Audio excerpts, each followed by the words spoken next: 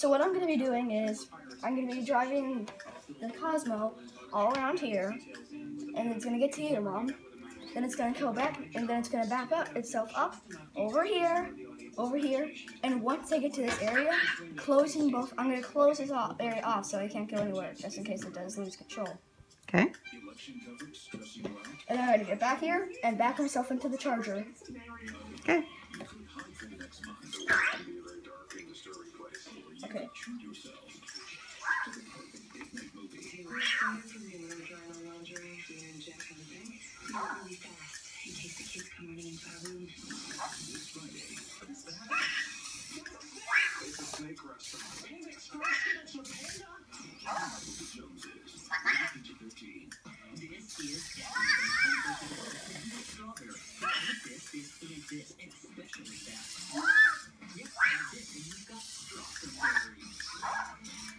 I can see you, Mom.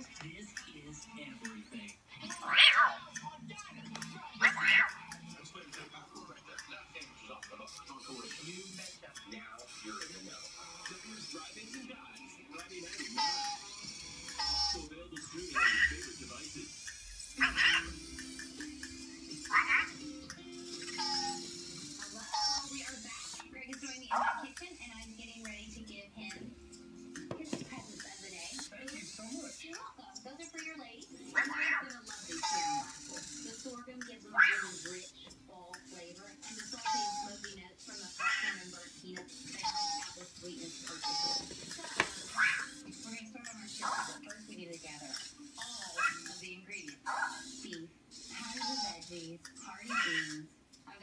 bunch of secret ingredients on. So you're gonna need to put a little bit of vegetable oil in here and start Ah, pressing this ground. I see a future for you controlling remote space landers.